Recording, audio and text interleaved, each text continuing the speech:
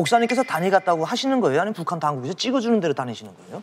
반반으로 볼 수 있는데 음. 제가 원해서 가는 것도 있고 김정일이가 그걸 허락한 이유가 뭐냐면 김정일이 허락했어. 김정일 때죠.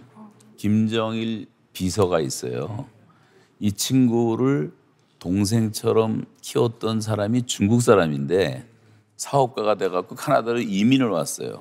그래서 우리 교회를 나왔어요.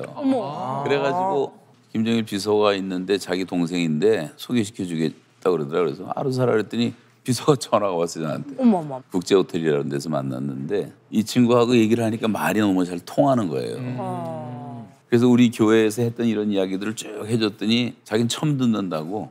그러고 이제 돌아가서 김정일하고 장성태가 앉아 있는 데서 이 얘기를 해준 거예요. 그래서 김정일이가 그때 좀 감동이 됐나 봐요. 음. 우리한테 편지를 하나 써준 게 뭐냐면 이분들이 하는 일은 누구도 일체 방해하지 말 것. 이분들이 하는 일은 누구도 일체 방해하지 말 것. 마페 맞네. 마페 맞네. 네, 두 번째는 이분들이 원하는 곳은 어디든지 가게 할 것. 어머. 그래서 그때부터 그게 이제 무사증이 되더라고 종이 한 장이. 이야. 자유이용권 같은 거요. 그렇죠.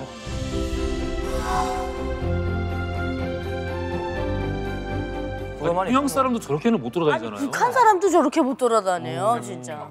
보이부 간부도 어지간하면 저렇게 못 다닐걸요? 근데 뭐 굳이 저렇게까지 다닐 이유는 없죠. 않지. 어, 어, 어. 그뭐 무슨 일이 그렇게 많다고 저 전국적으로 맞아요. 다니면서 일을 하진 않거든요. 내 지역에 것도 힘들어 죽겠는데 뭐 언제 저 청진까지 가고.